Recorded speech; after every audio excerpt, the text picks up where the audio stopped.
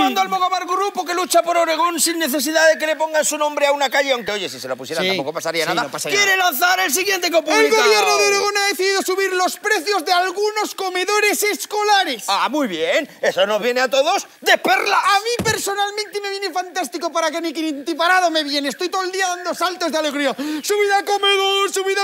Mira, es que... Pero escucha, escucha, que es que han dicho, la cosa es que han dicho que Sí. han subido los precios de algunos comedores escolares para que todos paguen lo mismo. Ah, claro, se reunieron y dijeron, oye, vamos a poner el mismo precio para todos los comedores escolares de Oregón.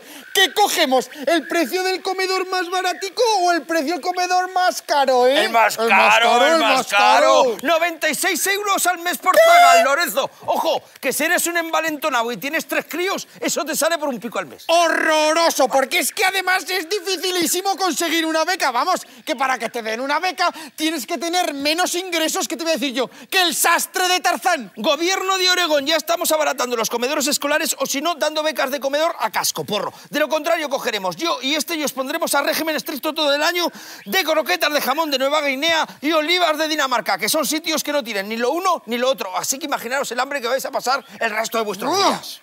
En tanto Oregón.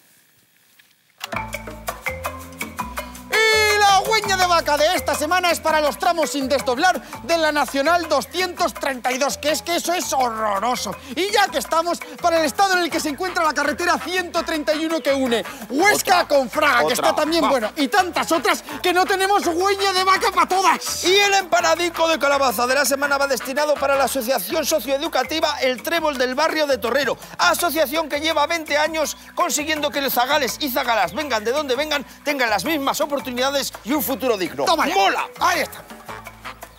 Eh, Miguelón, ¿qué te ha gustado eso de menos ingresos que el sastre de Tarzán, eh? Hombre, a ver, Lorenzo, él- en la película, en la 4, Tarzán va a Nueva York. Ahí lleva traje, lleva traje Tarzán. Pues, pues, pues menos ingresos que el oculista de Superman. Pero cuando es Clark Kent lleva gafas, Lorenzo.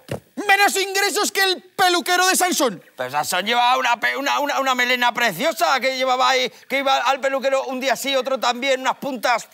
Bueno, yo me voy. No, no, dime más. No, me voy. No te vayas, no, Me dime más ejemplos, dime más ejemplos, a ver. Ven, ven, ven aquí.